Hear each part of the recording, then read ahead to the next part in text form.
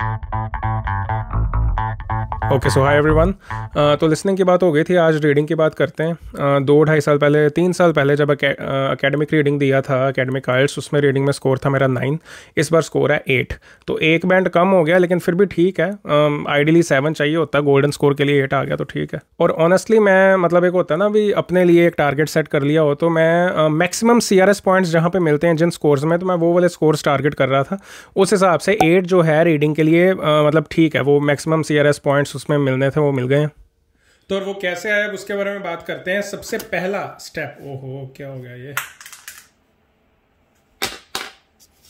तो सबसे पहला स्टेप सबसे पहले आपको क्वेश्चंस ही पढ़ने हैं। पैसेज की तरफ़ पहले नहीं जाना, आपको पता होना चाहिए आप ढूंढ क्या रहे हो। क्वेश्चंस में कोई भी खास डेट आई है, कोई जगह का नाम आया, कोई इमोशन आया, कुछ भी आया जो आपको लगता है इंपॉर्टेंट होगा पैसेज को पढ़ते टाइम ध्यान में रखना, उसको अंडरलाइन कर लो। पेंसिल आपके हाथ में होएगी और क्वेश्चन पेपर पे आप कुछ भी करते हो, वो एग्जामिनर नहीं देखता तो निश्चिंत हो के जो मर्ज़ी अंडरलाइन करो। बस आपका कोई भी पॉइंट जो है मिस नहीं होना चाहिए। एक बार आपने जो सारे पाँच सात क्वेश्चन होंगे, उसका सेट होगा, एक उसको आपने पढ़ लिया क्वेश्चन को, फिर पैसेज की तरफ़ गए, फिर आपने पहला क्वेश्चन पढ़ना, फिर पैसेज को पढ़ना शुरू करना कि हाँ इस क्वेश्चन का आंसर ढूंढो। जब वो मिल गया, फिर अगला क्वेश्चन फिर अगला पैसेज दोबारा पढ़ो, फिर आंसर ढूंढो। फिर अगला क्वेश्चन फिर पैसेज में से आंसर ढूंढो। जब आप ये कर रहे हो तो आपने ऑब्वियसली सारे क्वेश्चन जो अंडरलाइन किए होंगे, वो की वो अब आप पैसेज भी तो सारा पढ़ रहे हो ना, एक बार क्वेश्चन को ढूंढते हुए एक एक करके।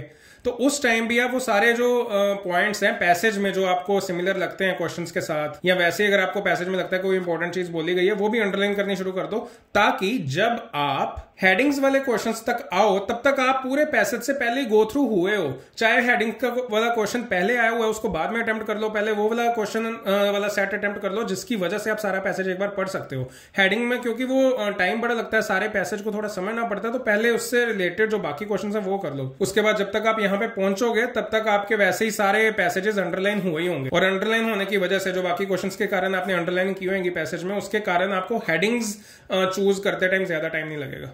फिर एक बड़ी इंपॉर्टेंट चीज़ आती है ट्रू फॉल्स नॉट गिवन या yes no not given true आपने तब करना है किसी चीज़ को जब आपको पता हंड्रेड परसेंट वही चीज़ लिखी है ऑब्वियसली वो एग्जैक्ट नहीं लिखी होगी उसके सिनोनिम्स या पैराफ्रेज करके लिखा होगा सब कुछ। तो बस ये ध्यान रखना, उस सेंटेंस के वर्ड्स अलग हो सकते हैं, लेकिन मतलब सेम होगा।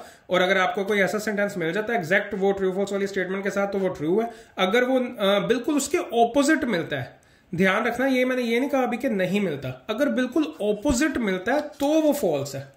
और अगेन अब अगर नहीं मिलता, मैं आपको एग्ज़ाम्पल देता हूँ कि हो सकता है स्टेटमेंट हो the first electric car was made in India तो अगर पैसेज में कहीं ऐसा लिखा है कि India is the home of first electric car ever built in this entire world तो ऑब्वियसली वो इसके साथ पैराफ्रेज करके लिंक हो रहा है।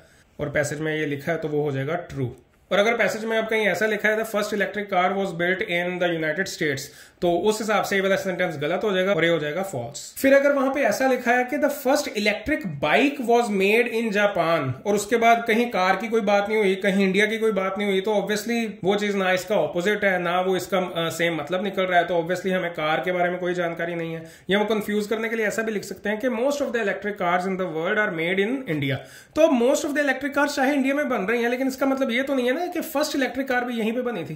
तो भी इसका जवाब जो होगा, वो नोट गिवन होगा कि हमें first car first electric car के बारे में थोड़ी अभी कोई इन्फॉर्मेशन मिली है। तो ध्यान रखना, अगर बिल्कुल एग्जैक्ट चीज़ मिलती है तो ट्रू अगर बिल्कुल ऑपोजिट चीज़ मिलती है कि फ़र्स्ट इलेक्ट्रिक कार बनी कहीं हो रहा है तो फॉल्स अगर वैसे ही एक बात बताई गई है और उसको ही ज़्यादातर गाड़ियाँ इंडिया में बनती हैं, लेकिन क्या पहली कार इंडिया में बनी है या नहीं, ये बताया नहीं है तो ऑब्वियसली नॉट गिवन और फिर जो एक बहुत कॉमन क्वेश्चन है, वो है कंप्लीट द सेंटेंस या fill in the blanks fill up जैसे भी आपने कहना इनमें सबसे पहले तो आप जहाँ पे भी वो ब्लैंक है, जो आपने भरना है पैसेज में से वर्ड ढूंढ के, उसके आसपास जितने भी वर्ड हैं, उसको कर लो पहले अंडरलाइन के। पहले एक्सपेक्ट करना शुरू कर दो कि यहाँ पे पूछा क्या गया है। क्या यहाँ पे कोई नाउन आने वाला है या कोई एडजेक्टिव आने वाला है या वर्ब आने वाला है? और ज़्यादातर ये वाले जो क्वेश्चन होते हैं, ये लाइन वाइज होते हैं। पैसेज में भी आपको आंसर सारे लाइन वाइज ही मिलेंगे। तो अगेन पहले क्वेश्चन में से जो फिल इन द ब्लैंक या ब्लैंक के आसपास वाले जो वर्ड्स है, उनको अंडरलाइन करो। और शुरू से पैसेज को पढ़ना शुरू कर दो।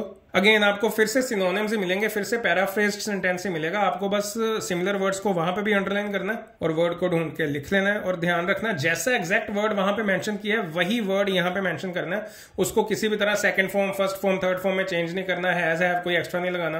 वहाँ पे उन्होंने सिर्फ़ आपकी सिनोनिम्स और पैराफ्रेज वाली अंडरस्टैंडिंग को चेक करना है कि आपको सिमिलर सेंटेंसेज आप आइडेंटिफाई कर सकते हो या नहीं। तो बस अगर आपको हर चीज़ के मतलब पता है सिनोनिम्स पता है और स्पीड भी आपकी बहुत अच्छी हो गई है डेवलप तो रीडिंग में आपको एट नाइन बड़ी इजीली आप स्कोर कर सकते हो। अकेडमिक की रीडिंग जो है वो थोड़ी टफ होती है वो साइंटिफिक अकेडमिक लेवल की होती है। जनरल में ऐसा कुछ नहीं होता लेकिन जनरल में आपको स्कोर ज़्यादा करना पड़ता है। मतलब आ, मेरे ख्याल से थर्टी फोर के अराउंड आपको सही करने पड़ेंगे। अगर आप जनरल में सेवन लाना चाहते हो वहीं अकेडमिक में आपके अराउंड थर्टी या थर्टी वन सही करके भी सेवन आ जाएँगे। तो ये जनरल और अकेडमिक में थोड़ा जो टेक्निकल डिफरेंस है वो ये है। और बाकी रीडिंग एज सच अगर इंप्रूव करनी है तो बस ये दो चीज़ों का ध्यान रखो। That's it and I hope it helps.